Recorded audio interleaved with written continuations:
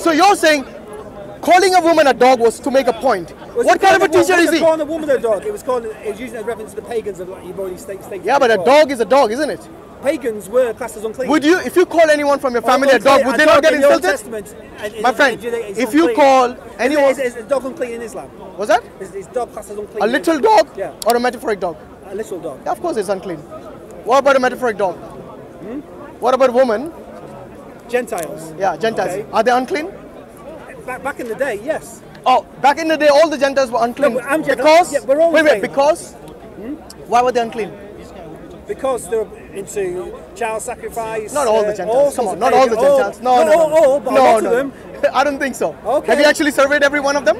How lot do you know? yes. Okay. Anyway, get, let's get back to the, the the knowledge of God. Bestiality. There's a lot of things going on. Well, the killing children in the Bible is from your God, so don't Okay, blame that okay, God, okay. because your God does even worse. So basically, if they don't obey, kill them all. God can do Wow, that is the solution, isn't it? Hmm. we know God is merciful. We know God is loving. We know God is just. We Yes? don't get that impression down here, but I'm sure. Well, I don't get the impression from the Christians who bomb people from drones and the F-16s, They're killing him innocent people. How do you know they're Christians? Well, they got they got crosses when they die on the on the uh, in the cemetery, unless they were just for decoration. Bush called it a crusade. Okay, exactly. Okay. So don't get me there, okay? Because You the can get- Christians, I can get trust there me, because- trust me. You know when when when the Americans when they bombarded Nag- Nagasaki, Hiroshima with atom bombs, the only country in the world to use atomic energy. You say ISIS nuclear. Muslims. Wait a minute. Wait, I'm coming to ISIS. No problem. They are my worst enemies. Trust me. Okay, Okay. but so wait, wait, wait a minute. Do you know what the president of America said when they bombed Nagasaki and Hiroshima and annihilated completely these two cities? Every living thing, every breathing thing was destroyed, just like in the Bible. Yes, you know what he says? Thank God. And you know who was Truman's God? A Christian? Jesus Christ. We have spent more than $2 billion on the greatest scientific gamble in history. Having found the atomic bomb, we have used it. We shall continue to use it until we completely destroy Japan's power to make war. It is an awful responsibility which has come to us. We thank God that it has come to us instead of to our enemies.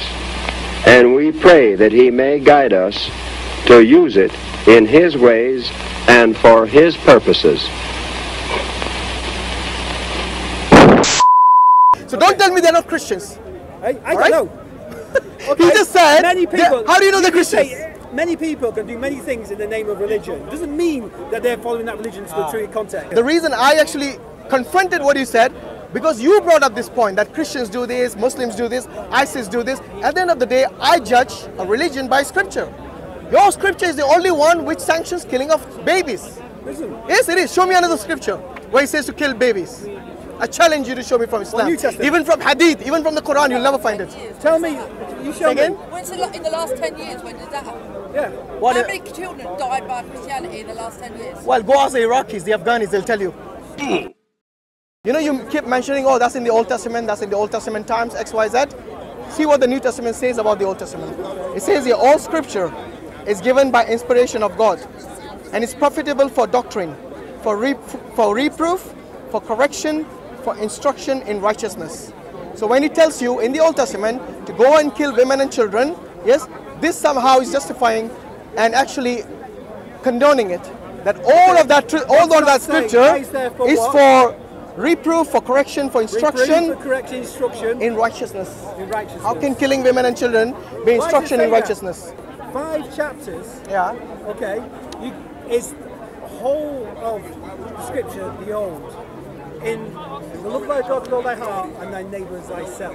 What about it? The Sermon on the Mount. What about it? Can be taken from Jesus from all scriptures. As the Lord thy God with all thy heart, mind, body, soul, and thy neighbour as thyself. Why are you only picking the good ones? Whole, What about the scriptures that I mentioned about killing women and children? in the Old Testament, isn't Jesus in the New Covenant? You, you heard that verse, right? Yes. All scripture. Yeah. Yes? For teaching, for a reproof. Yes. And instruction and to instruction. righteousness. Okay, if Jesus is in the New So what do you learn by killing women and children? Tell me. What is a reproof? What is a Because that's instruction? not in the New Testament. That's No, but but that that New Testament verse I showed you is referring to the Old Testament. Okay. Are you with me?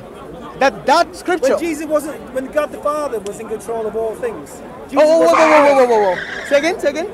God the Father, God the Son, God the Holy Spirit. Who was in control of Okay. all things at that time? That was the old covenant. No, no. Who was in control at that time? The Trinity. Why did you say only God the Father then?